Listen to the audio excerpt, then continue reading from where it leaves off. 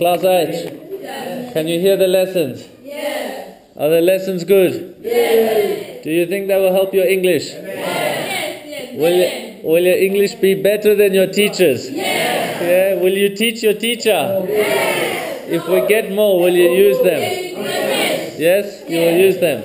Yeah, very much. Good. Sawa sawa. Asante. Karibu sana. Karibu. Okay.